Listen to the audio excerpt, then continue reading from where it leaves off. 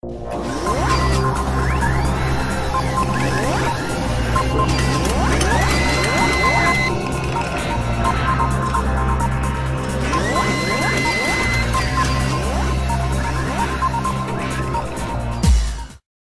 YouTube, and this is Robert with Super Galactic Geek Review, and we've got a movie review today. Now this is not a movie in the theater, this is actually a movie on DVD and Blu-ray actually. Um, we are going to review Rise of the Zombies. Now this came in our horror block, so I'm going to go ahead and tell you, keyword right here, for all of you that got the horror block, and haven't watched this yet, spoiler alert, big time right here, okay? Now I'm going to tell you, when I opened the horror block and I saw that it had a Danny Trejo movie in it, I was really, really excited. I'm a huge, huge Danny Trejo fan. I, I everything he does, I think I watch all of it. Um, however, I was really upset at this movie. It wasn't far into the movie. Wasn't far into the movie at all. And uh, they kill off Danny Trejo. Come on, this is Danny Trejo. He's not going to let some little girl zombie bite him and take him down. He's going to slap her around like there's no tomorrow. All right, director, you messed that one up because Danny would have just snapped that little girl zombie in half. Heck, I could have had one of my dogs take that little girl zombie out. Anyways, that was horrible right there. Now, I don't know if you any of you are Star Trek fans, the Next Generation. Um, LeVar Burton was in this also. And his character was a scientist in this. Now, what I didn't like was they made his character extremely smart, but extremely dumb at the same time, okay? He stuck his hand in a cage with a zombie. He cut part of his own arm off to feed a zombie that used to be his daughter. Okay. And to think that these people, a group of people that were there with him, left him there by himself, knowing that he was going to be looking after the zombie that was his daughter at one time.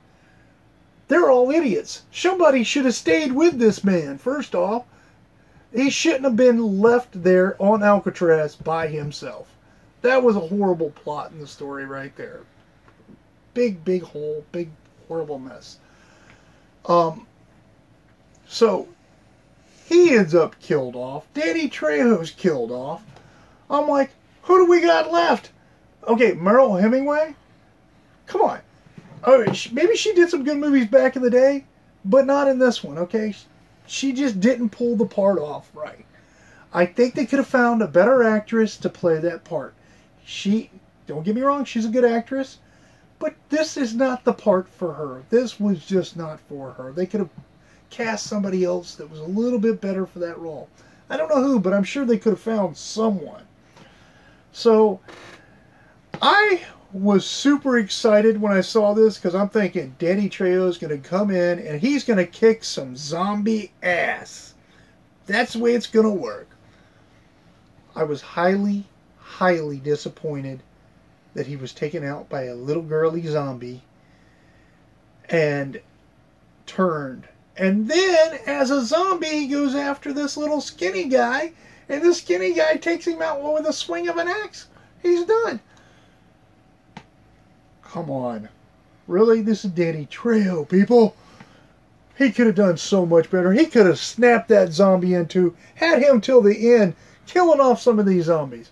That would have been the cool way to do this movie. But they didn't do that.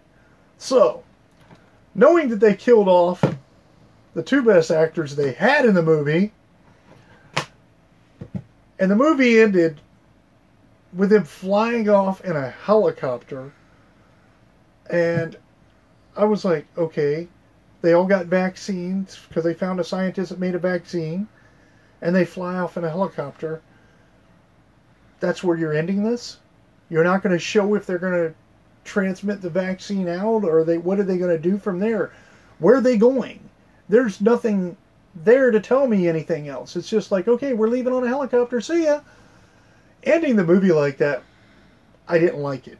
So, on a geek review level, I'm only going to give this one five geek glasses. And it gets five because, let me explain to you why. It's got Danny Trejo, LeVar Burton. That's the reason that I gave it a five. Those two are in here. If they weren't in here and you had two other actors in here, this thing would have got a three. So, that's my review of Rise of the Zombies. And I hope you guys enjoyed it. Now, YouTube, go ahead and click that like button. Don't forget to subscribe and be proud to be a geek.